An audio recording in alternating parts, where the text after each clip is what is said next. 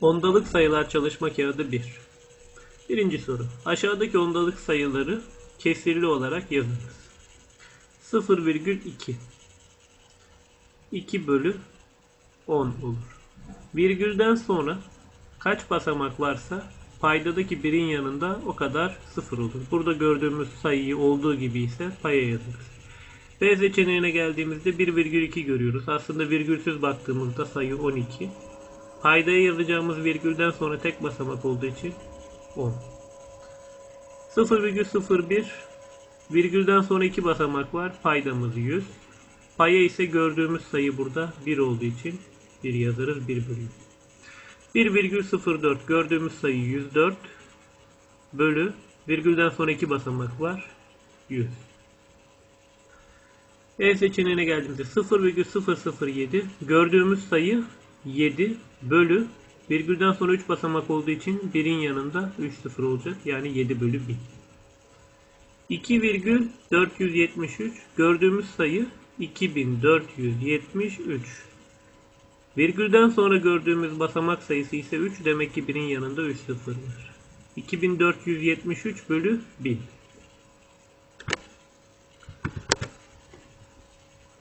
İkinci soruya geldiğimizde A. Aşağıdaki kesirli ondalık kesirleri ondalık sayı biçiminde yazınız. A seçeneği 1 bölü 10. Bu 0,1 olur. 13 bölü 10 virgülden sonra tek basamak olacak. 1,3 Virgülden sonra iki basamak olacak. 0,03 Eğer ki yukarıda iki basamak yoksa ekstradan bir sıfır ekleriz. 123 bölü 10 virgülden sonra bir basamak olacak. 12,3 E seçeneği 7 bölü 1000 virgülden sonra 3 basamak olması gerekiyor. 0,007 Burada tek basamak olduğu için yanına 2 tane 0 eklemek zorunda kaldık. F seçeneğine geldiğimizde 123 bölü 1000 virgülden sonra 3 basamak olacak. Zaten yukarıda 3 basamak var. 0,123 bu şekilde kesirleri ondalık sayıya çevirmiş olduk. Üçüncü soruya gelirsek aşağıdaki ondalık sayıları sayı doğrusunda gösteriniz. 0,2 tam kısmı 0 olduğu için 0 ile 1 arasında yer alacak. Şunu daha düzgün çizelim. Şuraya 0, buraya da 1 dersek bu kesirli olarak yazdığımızda 2 bölü 10'dur. Yani 0 ile 1 arasını 10 eşit parçaya bölmemiz gerekiyor. 10 eşit parçaya bölmek için 9 parça çizmemiz gerekir.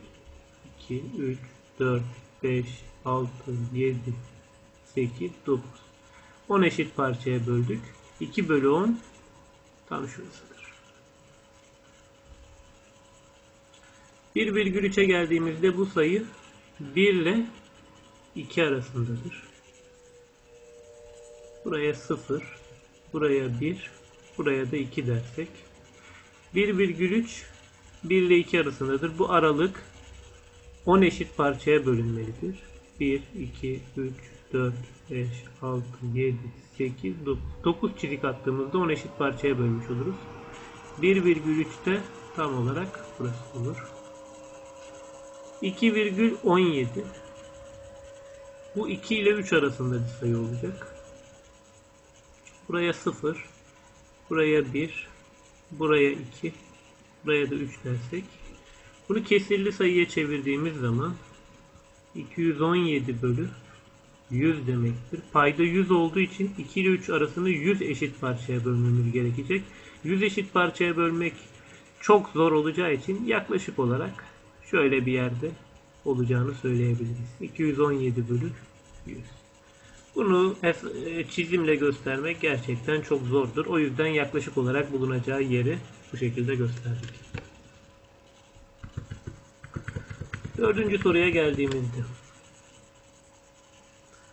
2,3A5 büyüktür 2,344 olduğuna göre A kaç farklı değer alabilir? Burada ikiler aynı. Üçler aynı. Demek ki buradaki A'nın buradaki 4'ten daha büyük olması gerekir mi gerekmez mi? Burasına 4 versek burada 45 etmiş oluyor. Burada 44 var. İlk sağlayan A değeri 4. 4 sağladı. Sonra 4'ten büyük olan her şeyi de sağlar. 6, 7, 8, 9. Her şey diyoruz ama rakam gelecek. Çünkü bu bir sayı. A kaç farklı değer alabilirmiş? 1, 2, 3, 4, 5, 6. 6 farklı. Burada 4,1A5 küçüktür 4,134 olduğuna göre A kaç farklı değer alabilir? Aynı mantıkla gidelim. Bu basamaklar birbiriyle aynı. Buradaki birler birbiriyle aynı. Şimdi buraya gelirsek A5, 3, 4 var. Buraya 3 verirsek 35 eder. Burada 34 var. 3 olamaz. 3'ten daha küçük şeyler vermeliyiz. A'nın alabileceği ilk değer 2. Sonra 1. Sonra da 0. A kaç farklı değer alabilir? 2, 1, 0. 3 farklı değer alabilir.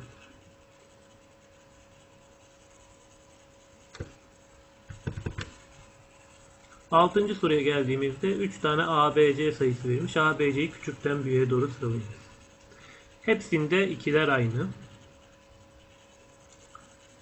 3, 3, 2. Bu ikisi bundan daha büyük. C burada en küçük çıktı. Çünkü burada 2 var. Sonra 1 bu ikisine geldi sıra. Bu basamakta bunda 1, bunda 2 görüyoruz. Bu en büyük, sonra bu büyüklük olarak gelir. A, B.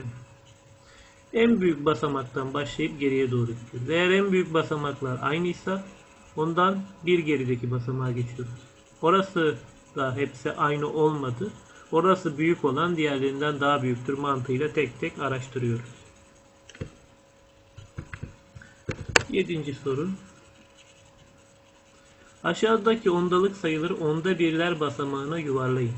Onda birler basamağı şurasıdır. Buraya yuvarlarken ondan bir önce onda birler basamağından bir önceki basamağa bakacağız. Yani buradaki. Buradaki basamak eğer 5'e eşit veya büyükse buradakini bir yukarı yuvarlar. Eğer 5'ten küçükse ki burada 5'ten küçük yani 2 burası 2,1 kalacak. Onda birler basamağına yuvarlamak demek göreceğimiz son basamak onda birler basamağı olacak. Ya buradaki bir göreceğiz ya da bunun bir fazlasını göreceğiz. Onu da belirleyen şey ondan bir sonraki gelen 2. Daha gerisi bizi ilgilendirmiyor. Burada onda birler basamağımız 6. Ondan önceki gelen ise 5. Burası 5 ve 5'ten büyükse bunu bir yukarıya yuvarlayacağız. Yani bu 4,7 olacak. Buraya geldiğimizde onda birler basamağı 0. Ama ondan önceki 7. Burası 5'ten büyük bir sayı olduğu için bunu bir yukarı yuvarlayacağız. Bunun onda birler basamağına yuvarlanmış hali 0,1. Onda birler basamağı burada önceki sayı 0. 5'ten küçük olduğu için burası 7 olarak kalacak. 123,7. Onda birler basamağımız 5. Ondan önceki sayı da 5. Burası 5 ve 5'ten büyükse bunu bir yukarı yuvarlıyorduk. 2,6. Onda birler basamağına yuvarlanmış şekli bu şekilde. 8. soruya geldiğimizde aşağıdaki ondalık sayıları yüzde birler basamağına yuvarlayınız. Yüzde birler basamağı burası.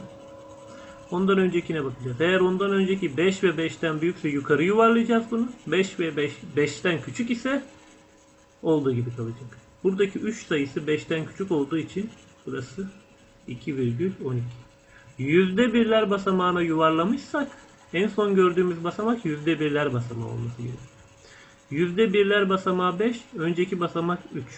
Buradaki 5 olduğu gibi kalacak. 4,65. Burası 5'e eşit veya büyükse bunu bir yukarı yuvarlarız. On, yüzde birler basamağı burada 7. Ondan önceki basamak ise 6. O zaman bu 7'yi bir yukarı yuvarlayacağız. 0,08. Yüzde birler basamağı 0. Önceki basamak da 0. O zaman bu 0 olarak kalacak. 123,70. Buraya geldiğimizde yüzde birler basamağı 5. Ondan önceki basamak da 5. 5 ve 5'ten büyükse bunu bir yukarı yuvarlarız demiştik. 2,56 olarak bunun da yüzde birler basamağına yuvarlanmış şeklini buluruz. Bu çalışma kağıdını da bu şekilde noktalamış olduk.